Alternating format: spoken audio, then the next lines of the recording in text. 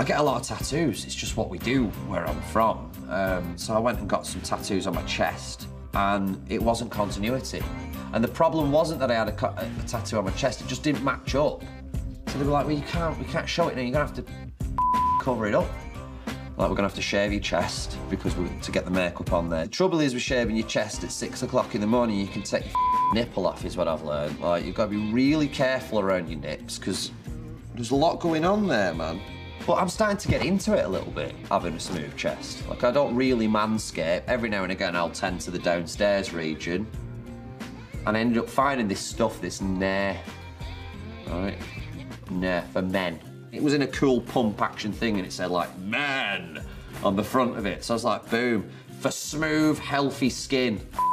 Perfect. Where's, where, where's this been all my life? So I end up nairing my whole body, right? The first thing to start burning was my nuts. You can't put it on your bollocks. I didn't know this. It says men on it. What do men have? We have bollocks. I mean, now it's all good. I mean, my balls look immaculate now. Like, they've never looked better. They've healed. Everything's cool.